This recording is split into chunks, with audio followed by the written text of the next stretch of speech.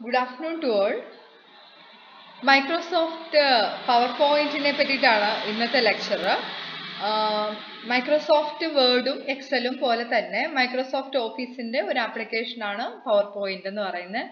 ഞാനിപ്പോൾ ഈ കാണിച്ചിരിക്കുന്നതാണ് പവർ പോയിന്റിന്റെ ഹോം പേജ് എന്ന് പറയുന്നത്. മൈക്രോസോഫ്റ്റ് ഓഫീസ് എന്ന് സ്റ്റാർട്ട് ബട്ടണിൽ മൈക്രോസോഫ്റ്റ് ഓഫീസ് എന്ന ഓപ്ഷനിൽ നോക്കിയാൽ നമുക്ക് ഈ പറയുന്നത് പോലെ വേർഡ് എക്സൽ എല്ലാം അതിന്റെ കാറ്റഗറിയിൽ തന്നെ നമുക്ക് പവർ പോയിന്റും കാണാനായിട്ട് പറ്റും.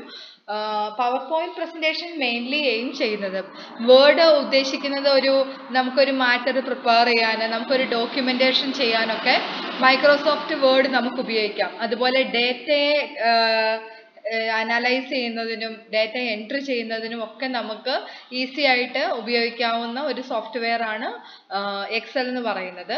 ഇനി ഇത്തരത്തിലുള്ള ഇൻഫോർമേഷൻസിനെ നമുക്കൊന്ന് പ്രസന്റ് ചെയ്യണമെങ്കിൽ അതിന് വേണ്ടിയിട്ടുള്ള ആപ്ലിക്കേഷൻ ആണ് മൈക്രോസോഫ്റ്റ് പവർ പോയിന്റ് എന്ന് പറയുന്നത്. അപ്പോൾ വേർഡിലും എക്സലിലും ഉള്ളതുപോലെയൊക്കെ തന്നെയാണ് ഇതിന്റെ ഒരു ഹോം പേജ് ഉള്ളത്. ഇനി കുറച്ച് കുറച്ച് വ്യത്യാസങ്ങൾ ചെറിയ ചെറിയ മൈന്യൂട്ട് ആയിട്ടുള്ള വ്യത്യാസങ്ങളാണ് ഉള്ളത്. ഇപ്പോൾ നമ്മൾ ഈ കാണുന്നത് നമുക്ക് ഡീഫോൾട്ട് ആയിട്ട് കിട്ടുന്ന ഒരു സ്ക്രീനാണ് ഇപ്പോൾ ഈ കാണുന്നത്. അപ്പോൾ മൈക്രോസോഫ്റ്റ് വേർഡിൽ ഈ പറഞ്ഞതുപോലെ തന്നെ ഫസ്റ്റ് ഒരു ഫയൽ മാനേജർ ഉണ്ട്. അതിൽ നമുക്ക് ഇഷ്ടമുള്ള ഓപ്പൺ ചെയ്യണമെങ്കിലോ ഫയൽ ഓപ്പൺ ചെയ്യണമെങ്കിലോ റീസെന്റ് ആയിട്ട് ഞാൻ ഓപ്പൺ ചെയ്തിട്ടുള്ള പ്രസന്റേഷൻസ് ആണ് ഈ കാണുന്നതെല്ലാം. ഇനി അതല്ല നിങ്ങൾക്ക് സേവ് ചെയ്യണമെങ്കിൽ ഇത് ഇങ്ങനെ തന്നെ സേവ് ചെയ്യണമെങ്കിൽ നേരെ നമ്മൾ ഇതിന്റെ ഡോക്യുമെന്റ്സിൽ ഇത് പോയിട്ട് സേവ് ആകും. ഇതുപോലെ സേവ് ആസ് കൊടുക്കുവാണെങ്കിൽ നമുക്കൊരു ലൊക്കേഷനിൽ ഏത് രീതിയിലാണോ പ്രസന്റ് ചെയ്യേണ്ടത് ആ രീതിയിൽ സേവ് ചെയ്യാൻ പറ്റും. ഇങ്ങനെയുള്ള കുറച്ച് ഓപ്ഷൻസ് ഇതെല്ലാത്തിലും ഉള്ളതാണ്. നമ്മുടെ വേർഡിലും എക്സലിലൊക്കെ ഉണ്ടായിരുന്നു. അനി അടുത്തത് ഹോമാണ് ഹോമിൽ ഇവിടെയാണ്. ഈ സ്ലൈഡ് എന്ന് പറയുന്നിടത്തിട്ടാണ് നമുക്ക് പുതിയ പുതിയ സ്ലൈഡ്. ഇപ്പൊ ഫസ്റ്റ് ഈ കാണുന്നത് ഒരു ടൈറ്റിൽ സ്ലൈഡ് ആണ് ഫസ്റ്റ് സ്ലൈഡ് ആണിത്. അതായത് ഈ ഓരോ ഷീറ്റിനെയും നമ്മൾ സ്ലൈഡ് എന്നാണ് പറയുക ഇനി ഈ സ്ലൈഡിന്റെ പ്രസന്റ് രീതി നമുക്കിപ്പോ ഏത് അലൈൻമെന്റിലാണോ സ്ലൈഡ് ആവശ്യം. ഇത് ഡീഫോൾട്ട് ആയിട്ടാണ് click to add title click to add subtitle എന്ന് പറയുന്നത്. അത് നമുക്ക് എന്താണോ ഏത് ഫോർമാറ്റ് ആണോ വേണ്ടത് ഇവിടെ കുറച്ച് ഓപ്ഷൻസ് ഓൾറെഡി തന്നിട്ടുണ്ട്. ആ രീതിയിൽ നമുക്ക് ഇഷ്ടമുള്ളത് നമുക്ക് ചൂസ് ചെയ്യാം.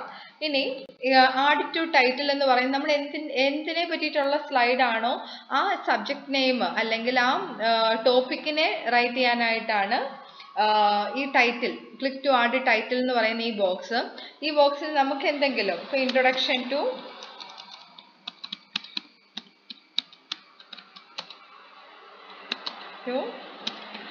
presentation Microsoft power പോയിന്റിലുള്ള പ്രസന്റേഷന്റെ ഇൻട്രൊഡക്ഷൻ ആണിത്. പ്രസന്റ് ചെയ്യുന്നത് അനിത സനൽ. ഓക്കെ ഇനി നമ്മൾ ഇത് രണ്ടെണ്ണം ഫസ്റ്റ് ടൈപ്പിംഗ് കഴിഞ്ഞു. ഇനി നമുക്ക് ഇഷ്ടമുള്ളതുപോലെ നമുക്ക് ഇതിനെ മോഡിഫൈ ചെയ്തെടുക്കാനായിട്ട് പറ്റും.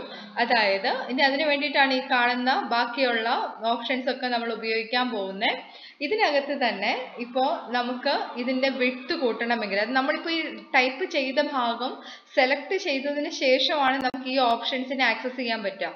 ഇത് നമ്മൾ പുറത്ത് എവിടെയെങ്കിലും നമ്മൾ ക്ലിക്ക് ചെയ്തിട്ട് വെക്കുവാണെങ്കിൽ ഇത് കണ്ടു. നമുക്ക് സെലക്ട് ചെയ്യാനായിട്ട് പറ്റില്ല. നമ്മൾ ആ ടൈപ്പിങ്ങുകൾ സെലക്ട് ചെയ്ത് കഴിയുമ്പോൾ മാത്രമാണ് ഈ ഏരിയ നമുക്ക് ആക്സസ് ചെയ്യാൻ പറ്റുക. ഇനി ഇൻട്രൊഡക്ഷൻ ടു പ്രസന്റേഷൻ എന്നുള്ളത് ഞാൻ എല്ലാം ഒരു സെന്റൻസ് മോഡിലാണ് ഫസ്റ്റ് ലെറ്റർ മാത്രം ക്യാപിറ്റൽ ആണ്. ഞാൻ അതിനെ മാറ്റിയിട്ട് എല്ലാം ക്യാപിറ്റൽ അപ്പർ കേസിൽ തന്നെ ആക്കിയിട്ടുണ്ട്. ഇനി ഇതിന്റെ ഫോണ്ട് എനിക്കിപ്പം ഇഷ്ടമുള്ള ഫോണ്ട് ആക്സസ് ചെയ്യാനായിട്ടാണ് ഇവിടെ ഫോണ്ട് എന്ന് പറയുന്ന ഒരു ഓപ്ഷൻ ഉണ്ട് ഈ ഫോണ്ടിൽ വന്നിട്ട് ഞാൻ എനിക്ക് ഇഷ്ടമുള്ള രീതിയിൽ ഒരു ഫോണ്ട് ചൂസ് ചെയ്യാണ്. ഓക്കെ. ഒരു ഫോണ്ട് ചൂസ് ചെയ്തു. അതിന്റെ സൈസ് ഞാൻ റീസെറ്റ് ചെയ്തു. ഓക്കെ. ഇനി ഞാൻ അതിനെ ഒന്ന് ബോൾഡ് ചെയ്തു. വേണമെങ്കിൽ അതിനെ ഇറ്റാലിക്സിലാക്കാം അണ്ടർലൈൻ ചെയ്യാം എന്ത് വേണമെങ്കിലും ആക്കാം. ഇനി ഇതിനകത്ത് ഈ എ വി എന്ന് പറയുന്നത് അലൈൻമെന്റ് വിട്ട് ആണ്. അലൈൻമെന്റ് വിട്ട് എന്ന് പറയുന്നത് ഈ സ്പേസുകൾ അതായത് ഈ ലെറ്റേഴ്സോ വേർഡ്സ് ഒക്കെ തമ്മിലുള്ള സ്പേസിനെ കാണിക്കുന്നതിന് വേണ്ടിയിട്ടാണ് ഈ ഒരു ഓപ്ഷൻ ഉള്ളത്. ഈ ഒരു ഓപ്ഷനിൽ നമുക്ക് ഇപ്പൊ നോർമൽ ആയിട്ടുള്ള ഒരു ഫോർമാറ്റിലാണ് ഇപ്പോൾ ഇത് കിടക്കുന്നത്. വെരി ടൈറ്റ് ആക്കുകയാണെന്നുണ്ടെങ്കിൽ ഇത് തമ്മിലുള്ള ഗ്യാപ്പ് ഉണ്ടെങ്കിലും നമുക്കത് ഫീൽ ചെയ്യാത്ത രീതിയിൽ ഭയങ്കര ടൈറ്റ് ആയിട്ട് ഇതിനെ കാണിക്കും. ഒരുപാട് കാര്യങ്ങൾ ഒരു കുറഞ്ഞ സ്പേസിൽ ഉൾക്കൊള്ളിക്കണമെങ്കിൽ നിങ്ങൾക്ക് ഈ ഓപ്ഷൻ യൂസ് ചെയ്യാവുന്നതാണ്. അതുപോലെ ടൈറ്റ് എന്ന് പറയുമ്പോഴത്തേക്കും കുറച്ചും കൂടി ഒന്ന് റിലാക്സ്ഡ് ആവുന്നുണ്ട്. അത് കുറച്ചൊന്ന് ലൂസ് ആവുന്നുണ്ട്. ഇനിയുള്ളത് നോർമൽ ആണ്. ഇനി ലൂസ് ആണ്. അതുപോലെ വെരി ലൂസ് അപ്പോൾ നമുക്ക് ഇത് ഈ രീതിയിലെല്ലാം നമ്മൾ പ്രസന്റേഷൻസ് സാധാരണ കാണാറുണ്ട്. അതെങ്ങനെയാണ് എന്നുള്ളത് നമ്മൾക്ക് ഒന്ന് കാണാൻ വേണ്ടിയിട്ടാണ് ഇപ്പം ഇത്രയും കാര്യങ്ങൾ കാണിച്ചത്. ഇനി നമുക്കിന്ന് കളറും കളർ വേണമെങ്കിൽ നമുക്ക് മാറ്റി കൊടുക്കാവുന്നതാണ്. കളർ കൊടുക്കാനായിട്ട് ഇതാ എ എന്ന് കണ്ടത് ഇവിടെ നമുക്ക് ലെറ്റേഴ്സിന്റെ ആണ് കളർ ചേഞ്ച് ചെയ്യേണ്ടത്. അതുകൊണ്ട് നമ്മൾ ഇവിടെ ഈ എ എന്ന് പറയുന്ന ഒരു ഓപ്ഷനാണ് ചൂസ് ചെയ്യേണ്ടത്. അതിൽ നമുക്ക് ഇഷ്ടമുള്ള കളർ നമ്മുടെ പ്രസന്റേഷന് ആഡ് ചെയ്ത് കൊടുക്കാം. ഇനി എന്റെ പേരാണ്. നമ്മൾ പ്രസന്റ് ചെയ്യുന്ന ആളുടെ പേരാണ്. സബ്മിറ്റഡ് ടു സബ്മിറ്റഡ് ബൈ ആ രീതിയിലുള്ള അല്ലെങ്കിൽ പ്രസന്റഡ് ബൈ എന്നുള്ള രീതിയിൽ തന്നെ ഇവിടെ കൊടുക്കാനായിട്ട് പറ്റും. പേര് ഞാൻ ഇതുപോലെ തന്നെ ഫോണ്ട് മാറ്റി കൊടുക്കുന്നുണ്ട്. ആ സെയിം ഫോണ്ടിൽ തന്നെയാണ് കൊടുക്കാൻ പോകുന്നത് അപ്പർ കേസ് ഇനി നമുക്കത് ഈ സൈഡിലോട്ട് വന്ന് കിടക്കുന്നതാണ് ഭംഗി.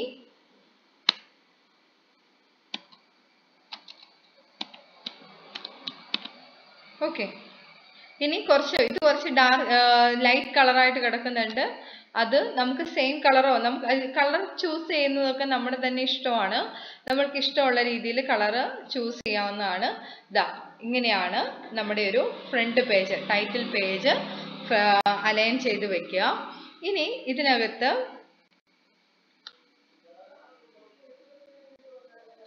ലേ ഔട്ട് നമ്മൾ കണ്ടു.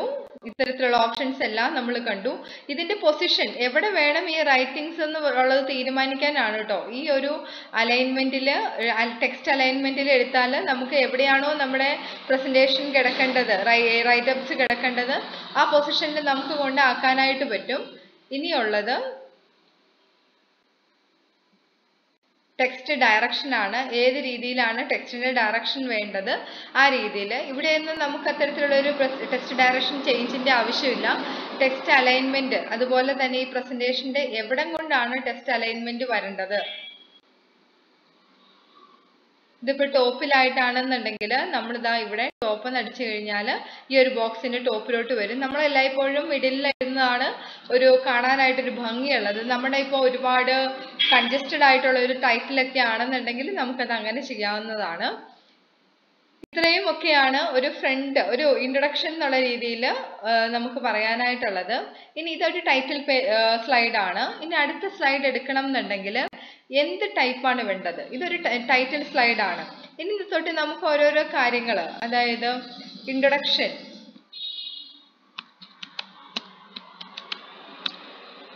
ഇൻട്രൊഡക്ഷൻ നമ്മൾ ഒന്നുകിൽ ഇവിടെ അടുത്ത സ്ലൈഡ് അപ്പൊ ന്യൂ സ്ലൈഡ് എടുത്തു നമ്മൾ ന്യൂ സ്ലൈഡ് എന്ന് പറയുന്ന ഓപ്ഷൻ ക്ലിക്ക് ചെയ്തു. ക്ലിക്ക് ചെയ്തിട്ട് നമുക്ക് ഇഷ്ടമുള്ള അലൈൻമെന്റ് നമ്മൾ ചൂസ് ചെയ്തു. ഇനി ഒരു ന്യൂ സ്ലൈഡ് കൊടുക്കുമ്പോൾ എല്ലാം ഇനി ഈ ഒരു ഫോർമാറ്റിൽ തന്നെ വരും.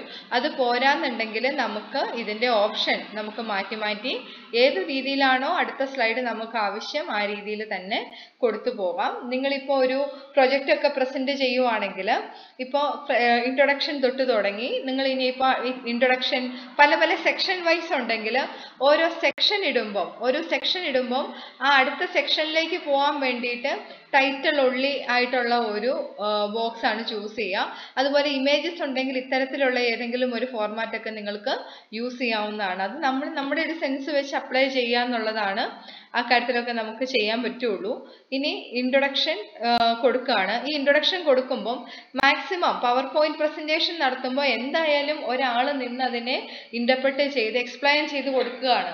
അപ്പോൾ നമ്മൾ എപ്പോഴും ശ്രദ്ധിക്കേണ്ട ഒരു കാര്യം മൈക്രോസോഫ്റ്റ് പവർ പോയിന്റ് പ്രസന്റേഷൻ നടത്തുമ്പോൾ ഒരുപാട് ടെക്സ്റ്റ് നമ്മുടെ ടൈറ്റിൽ സ്ലൈഡ്സിൽ ഇൻക്ലൂഡ് ചെയ്ത് ഭയങ്കര കൺജസ്റ്റഡ് ആയിട്ടുള്ള ഒരു സ്ലൈഡ് എല്ലായ്പ്പോഴും ഒഴി- ഒഴിവാക്കുക. ആവശ്യമുള്ള കാര്യങ്ങളെ നമുക്ക് ഇതുപോലെ ബുള്ളറ്റ്സിൽ കാണിക്കുക ബുള്ളറ്റ്സിൽ what is power point Microsoft power point ഇപ്പോൾ introduction to Microsoft power point ആണെങ്കിൽ ആദ്യം നമ്മൾ പറയാൻ പോകുന്ന അതിന്റെ ഒരു ഡെഫിനിഷൻ ആയിരിക്കും അല്ലേ? സോ നമ്മളിവിടെ ടൈപ്പ് ചെയ്തു ഡെഫിനിഷൻ ഡെഫിനിഷൻ വേണമെങ്കിൽ നിങ്ങൾക്ക് ഇവിടെ എൻട്രി ചെയ്യാവുന്നതാണ്. എന്താണ് മൈക്രോസോഫ്റ്റ് പവർ പോയിന്റിന്റെ ഡെഫിനിഷൻ ഇനി ആപ്ലിക്കേഷൻ ആപ്ലിക്കേഷന് മുമ്പ് പവർ ഇതിന്റെ ഒരു ഹിസ്റ്ററി നോക്കാം. ഹിസ്റ്ററി ആപ്ലിക്കേഷൻ ഇതിനൊക്കെ നമുക്ക് ഒന്നുകിൽ നന്നായിട്ട് എക്സ്പ്ലെയിൻ ചെയ്യാൻ അറിയുന്ന ഒരു സ്പീക്കറാണ് നിങ്ങളെന്നുണ്ടെങ്കിൽ നിങ്ങൾക്ക് ഇതാ ഇങ്ങനെയുള്ള കുറച്ച് പോയിന്റ്സ് എഴുതിയിട്ടിട്ട് രണ്ടോ മൂന്നോ സ്ലൈഡ്സിൽ ഇത് അവസാനിപ്പിക്കാം. നിങ്ങൾ എല്ലായ്പ്പോഴും ഏതൊരു പ്രസന്റേഷൻ ചെയ്യുമ്പോഴും കൺസിഡർ ചെയ്യേണ്ട മെയിൻ ഫാക്ടർ നിങ്ങളുടെ ടാർഗറ്റ് ഓഡിയൻസ് ആണ്. ഓഡിയൻസ് എങ്ങനെയുള്ളവരാണ്? ഇതേപ്പറ്റി ആദ്യം കാണുന്ന ഒരാളാണ് ആദ്യം കേൾക്കുന്ന ഒരാളാണ്. കമ്പ്യൂട്ടറിന്റെ ഒരു ബാക്ക്ഗ്രൗണ്ടും ഇല്ലാത്ത ആളാണെന്നുണ്ടെങ്കിൽ ഈ ഓരോന്നിനെ പറ്റിയിട്ട് നിങ്ങൾക്ക് രണ്ടോ മൂന്നോ സെന്റൻസുകൾ കൊടുക്കാം ചെറിയ ചെറിയ ഇമേജസ് കൊടുക്കാം. ഇതേ മൂന്ന് കാര്യങ്ങൾ തന്നെ നിങ്ങൾക്ക് പല പല മൂന്നോ നാലോ അഞ്ചോ സ്ലൈഡുകളാക്കി ഇടാം. അപ്പോൾ നമ്മുടെ ടാർഗറ്റ് ഓഡിയൻസിനെ ബേസ് ചെയ്തിട്ട് വേണം നിങ്ങൾ ഇത്തരത്തിൽ പ്രസന്റേഷൻ തയ്യാറാക്കാൻ.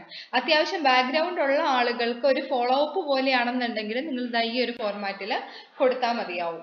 അപ്പോൾ പവർ പോയിന്റ് പ്രസന്റേഷൻ നടത്തുമ്പോൾ എല്ലായ്പ്പോഴും ശ്രദ്ധിക്കേണ്ട കാര്യം നിങ്ങൾ പറയുന്ന കാര്യങ്ങളെ ആ ഓർഡറിൽ ഒന്ന് ഓർത്ത് വെക്കാൻ അല്ലെങ്കിൽ കൃത്യമായിട്ട് നിങ്ങളെ ഫോളോ അപ്പ് ചെയ്യാൻ വേണ്ടി ഹെൽപ്പ് ചെയ്യുന്ന ഒരാളാണ് പവർ പോയിന്റ് എന്ന് പറയുന്നത്.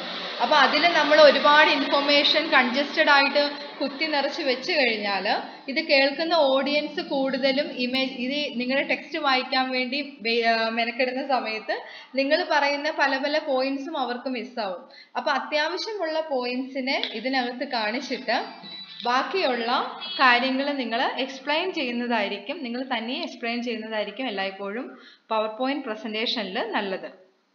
അപ്പോൾ ഇത്രയുമാണ് ഒരു introduction to power point presentation എന്ന് പറയുന്നത്. Uh, thank you.